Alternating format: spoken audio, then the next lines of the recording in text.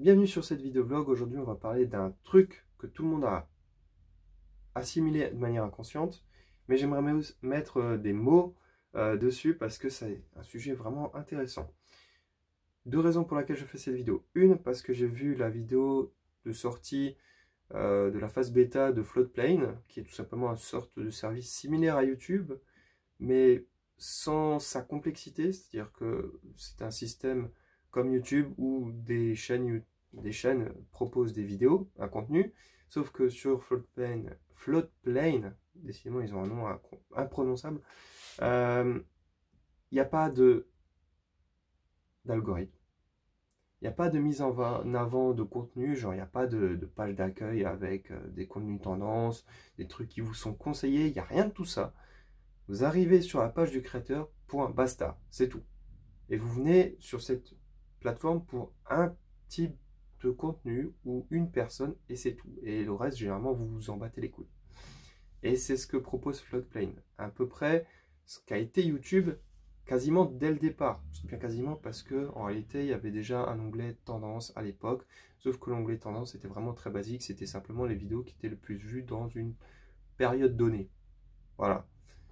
Euh, et une deuxième vidéo qui m'a bien choqué, pas par son contenu, mais parce qu'elle a réussi à accomplir, c'est une vidéo d'un chat qui se trimballe dans un labyrinthe qui est fait de murs de plastique transparent. Vous savez, le plastique qu'on utilise pour emballer la nourriture.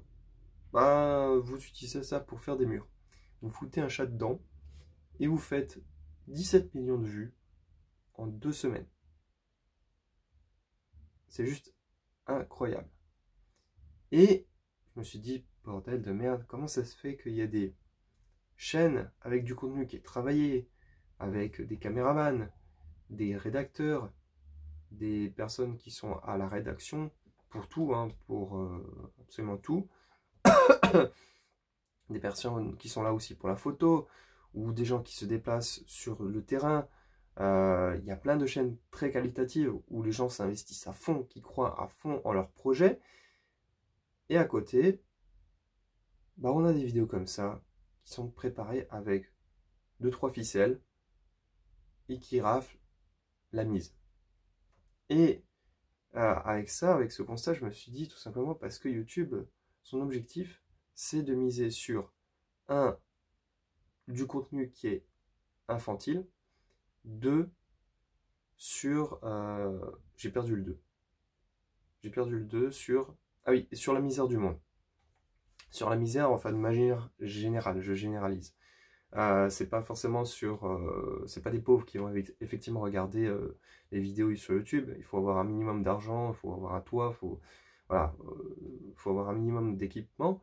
Mais on se base sur la médiocrité humaine. C'est-à-dire qu'on a un taf, la plupart du temps, de merde. On déchante très vite, même si on est très motivé les premiers mois, parce qu'on se rend compte qu'on est là pour faire une tâche un peu robotique.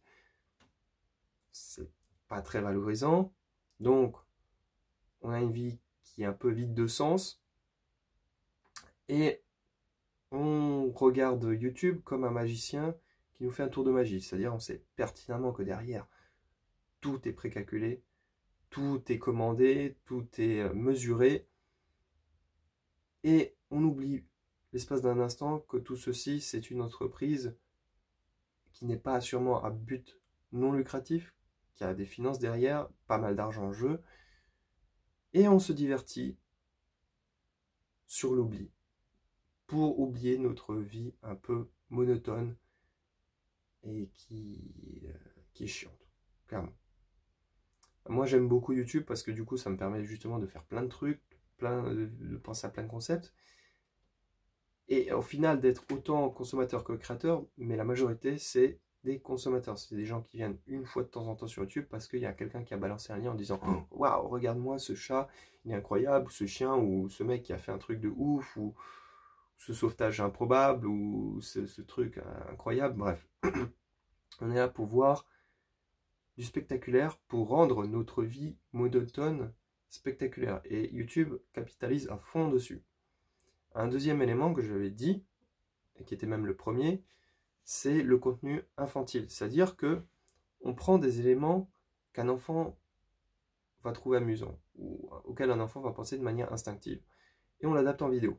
Et pourquoi les enfants? Parce que les enfants sont très malléables. Un adulte, vous lui proposez une idée, il va commencer à réfléchir, il va commencer à, essayer de trouver les failles dans ce, que vous lui proposez. Si ça lui plaît pas, il va trouver plein d'arguments pour contrer votre idée.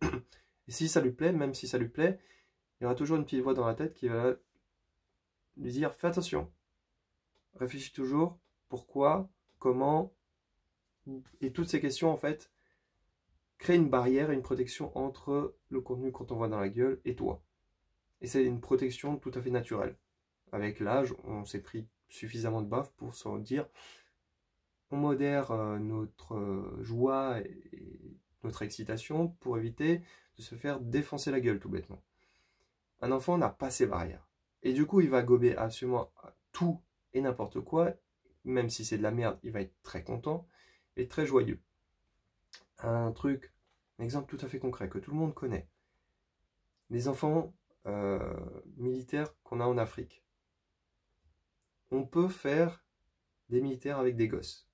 On leur fout un flingue, une mitraillette entre les mains, on leur dit comment, quoi faire, et ils le font sans même vraiment se poser de questions.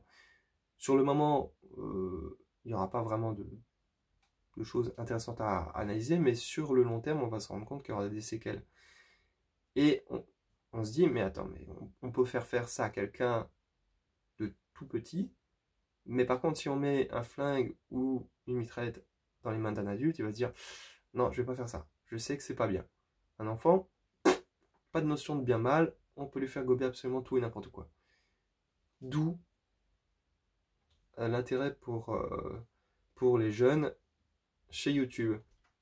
On peut leur faire gober tout et n'importe quoi. Et les publicitaires qui vendent la publicité sur YouTube, bah eux, ils aiment ça. Ils aiment pouvoir vendre tout et n'importe quoi à des gosses. C'est pour ça que vous recevez, vous recevez euh, dans votre boîte aux lettres, vers la période de Noël, un nombre incalculable de magazines en tout genre qui vous vendent toutes sortes de conneries. Si vous avez des enfants, vous êtes dans la merde. Bon, n'hésitez pas à laisser un pouce bleu ou un pouce rouge si j'ai dit de la merde. D'ailleurs, si j'ai dit de la merde, corrigez-moi dans les commentaires. Euh, faites parler votre avis aussi. Et partagez la vidéo aussi. A plus.